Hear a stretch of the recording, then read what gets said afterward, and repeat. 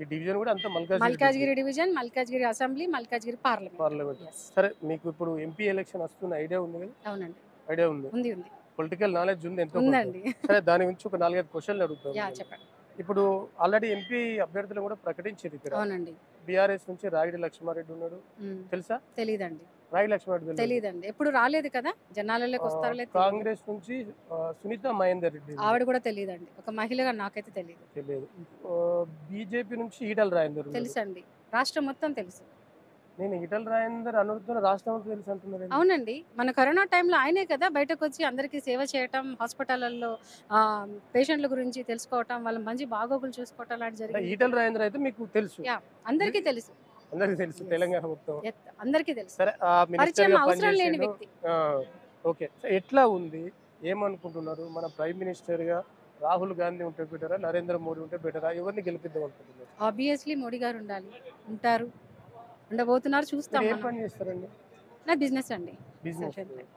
ఎందుకు నరేంద్ర ఎవరిని అడిగినా కూడా మీలాంటి మహిళలను అడిగినా నరేంద్ర మోడీ నరేంద్ర మోడీ అంటున్నారు. నరేంద్ర మోడీ అంటేనే ఒక కేడీ అని చెప్పి ఆయన ఎలక్షన్ వచ్చినప్పుడే ఈడీ గుర్తుకొస్తుంది అరెస్ట్ చేస్తాడు అని చెప్పి వాళ్ళు అంటా ఉన్నారు. మీరు ఎట్లా అంటా ఉన్నారు?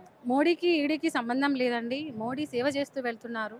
ఆయన సేవ ఏమంటారు? ప్రజల సేవ కోసమే ఆయన ఇన్ని సంవత్సరాలు మనం పది సంవత్సరాల చూస్తున్నాం. ఆయన దేశానికి ఎంత సేవ చేస్తున్నాడు? మహిళలకు ఎంత చేస్తున్నారు? యూత్కి ఎంత చేస్తున్నారు? పెద్దవాళ్ళకి ఎంత చేస్తున్నారు? రైతులకి ఏం చేస్తున్నారు అనేది మనం బయట నాయకులు చెప్తే వినాల్సిన అవసరం లేదండి. మనం చేతిలో ప్రతి ఒక్కరి చేతిలో ఫోన్స్ ఉన్నాయి. మోడీ ఏం చేస్తున్నారు అనేది ప్రతి ఒక్కరికి అవగాహన ఉంది. పిల్లల దగ్గర నుంచి పెద్దవాళ్ళ వరకు. సరే మోడీ చేసిండు అయిపోయింది. అవకాశం ఇవ్వాలని చెప్పి అంటున్నారు. ఆయన యువకుడని నేను అనుకోవట్లేదు. పెళ్ళి చేసుకోకపోతే యువకుడన్నట్ట? కాదు కదా. దేశం మీద భక్తి ఉండాలండి. దేశం మీద దేశం కోసం ఏమైనా చేయాలనే ఒక ఇది ఉండాలి. అది లేదు. ఆయన దగ్గరికి మోడీ గారికి మీరు అలా చెప్పగలుగుతారా? దేశం కోసమే బ్రతుకుతున్నాడు.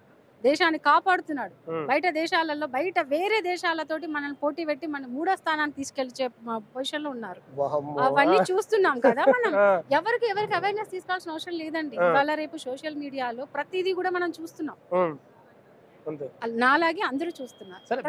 బిఆర్ఎస్ పార్టీ బీఆర్ఎస్ పార్టీ వాళ్ళు ఏమంటున్నారు అంటే మేమే గెలుస్తామని చెప్పి ఇంకా చెప్తా ఉన్నారు వాళ్ళు. ఏంటి మొన్న జరిగిన ఇష్యూస్ అయినాక కూడా కవిత గారి ఇష్యూ జరిగినాక కూడా మేమే గెలుస్తున్నాం అంటున్నారు అసలు వాళ్ళకు ఏమంటారు నామినేట్ వేయడానికి నామినేషన్ వేయడానికి మెంబర్స్ లేరు కదండి ఆల్రెడీ parliament కి. కడియం కావ్య కూడా అయిపోయింది. వెళ్ళిపోతారండి ఆబ్వియస్లీ. వెళ్ళిపోతారు. ఎందుకు చెప్పనా? వాళ్ళకి భయం. ఇంట్లో ఉన్న సొంత కూతుర్ని కాపాడుకోలేని ఒక వ్యక్తి సరే కవిత ఇష్యూ వచ్చింది. కాబట్టి అడుగుతా ఉన్నా. ఇప్పుడు ఆమె ఎట్లా ఎట్లా చూస్తున్నారు తెలంగాణ మహిళలుగా? ఒక లిక్కర్ స్కామ్ ఇంగ్లీష్లో లిక్కర్ వర్డ్ అంటారు తెలుగులో సారా దందా చేసి అరెస్ట్ అయింది. ఒక మహిళగా చాలా సిగ్గుచేటండి. మాకందరికి ఏమంటారు తలదించుకునే పొజిషన్ తెచ్చి పెట్టారు ఆవిడ. ఒక. మహిళగా ఆవిడ ఇలాంటి పనులు చేయకూడదు. మహిళకి ఎంతో ప్రాధాన్యత ఉంది మన దేశంలో. కానీ లిక్కర్ స్కామ్ ద్వారా ఆవిడ ఈ ప్రాధాన్యత తెచ్చుకున్నారు. అది మంచిది కాదని ప్రతి ఒక్క మహిళకు తెలుసు. కాబట్టి ఓటుతో సమాధానం చెప్తారు. ఇట్లా కాంగ్రెస్ కైనా అటు బీఆర్ఎస్ అంటే ఒక మాజీ ముఖ్యమంత్రి కూతురు కేసీఆర్ కూతురు అయి ఉండి ఇట్లా ఎంత ఎంత పేరు ఎట్లా ఖరాబ్ అవుతుంది? ఆమె చెప్తున్నాను కదండి. ఏమంటున్నారంటే.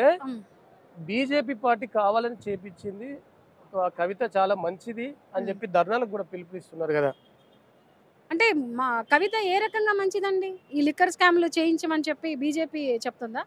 మరి బీజేపీ చెప్పేట్టుకుంటే కాపాడు ఉండాలి కదా మరి ఎందుకు మరి అంత అగేనిస్ట్గా మాట్లాడుతున్నారు? బట్ నేను చెప్తున్న విషయం ఏంటంటే ప్రతి ఒక్కరు కూడా మహిళలతో సహా చెప్తున్నాను. యూత్ కూడా తెలుసు. అందరికి ప్రతి ఒక్కరు కూడా దేశాన్ని కాపాడేవాడికి దేశం ఎవరి చేతిలో పెడితే మనం గౌరవంగా ఆత్మగౌరవంతో బ్రతుకుతామో వాళ్ళ చేతుల్లో పెట్టాలంటే మనం అందరం బీజేపీకి ఓటు వేసి తీరాలి మోడీ గారు రావాలి. ఇక్కడ ఈటల గారు రావాలి. ఈటల? రాజేంద్ర గారు ఇక్కడ రావాలి. కాదు ఇదే బీజేపీ పార్టీ ఈటల రాజేందర్కు ఎమ్మెల్యే టికెట్. అక్కడ గెలవలేదు ఇక్కడ ఇది గెలుస్తాడా మా అదృష్టం అండి? ఇది మా అదృష్టం అండి.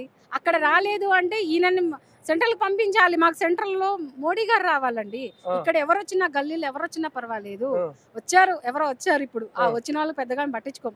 సెంట్రల్లో మాత్రం మోడీ రావాలి. దేశాన్ని కాపాడాలి. ఆడవాళ్ళ ఆత్మస్థైర్యాన్ని ఆత్మాభిమానాన్ని కాపాడాలి అంటే మాత్రం మోడీ గారు ఉండి తీరాలి. అందుకు ఇది మా బాధ్యతగా తీసుకున్నాం. మేము గెలిపిస్తాం. భారీ మెజారిటీతో గెలిపిస్తాం. ఖచ్చితంగా మోడీ గారిని మూడోసారి మనం ప్రధానమంత్రిగా చూడబోతున్నాం.